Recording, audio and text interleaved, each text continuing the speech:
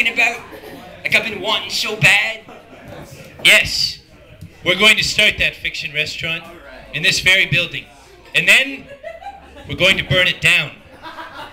And then we can have their souls. Their souls will be ours. Thank you very much, everybody. Fiction.